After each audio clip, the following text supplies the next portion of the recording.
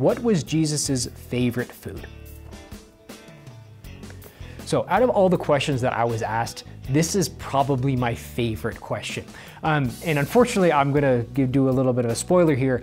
I don't know for sure what Jesus' favorite food is. But the reason why I like this question, why I chose to give an answer to it, even though I don't know the answer, um, is because I think it gets into the heart of what it means to say that Jesus is truly human, that he is one with us. We say that Christ is 100% God, 100% man, true God, true man, that he shared in all things that are human except for sin. Um, which means that he would have had to go through the same difficulties. He would have had to learn how to walk, for example. He would have had to learn how to speak. Um, and then also, he would have had a favorite uh, song, a favorite uh, uh, uh, food. He would have had uh, favorite places to visit.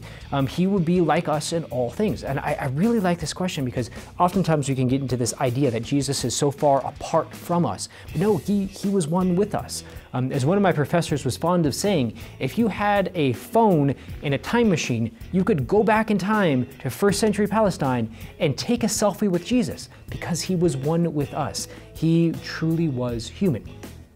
Now, to get into the favorite food, I do have one theory. because um, usually we don't hear too much about what Jesus was eating at the time, with the exception of maybe the Last Supper or the breaking uh, of the feeding of the 5,000, where it was uh, bread and fish.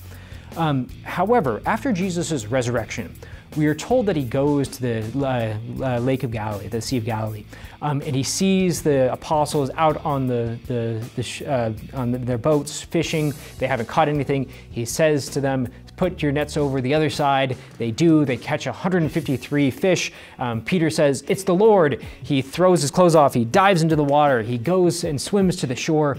Um, and it says that Jesus was cooking a fish on the fire.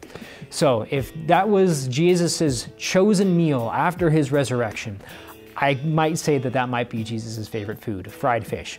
I wouldn't necessarily agree with that. I personally would do something more like pasta or pizza, but that seems to be what Jesus, uh, Jesus' favorite food. If I had to say that Jesus had a favorite food, that would be his favorite.